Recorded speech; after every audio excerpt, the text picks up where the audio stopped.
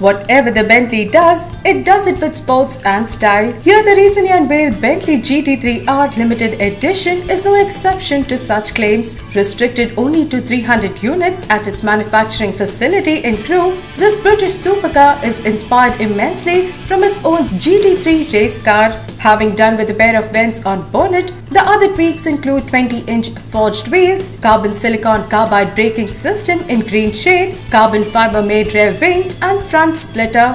This new car of Bentley seems to be an inspiration from the aviation industry, complemented by white paint shade and green stock. To an addition, weight reduction gained the center stage for this new Bentley, with most of them tackled by removal of rear seats and extensive use of carbon fiber inside the cabin. The British composed GT3R is faster and lighter and is fit for daily usage. Hopefully, order books are wide open for it, but the knee compelling price is yet to be announced.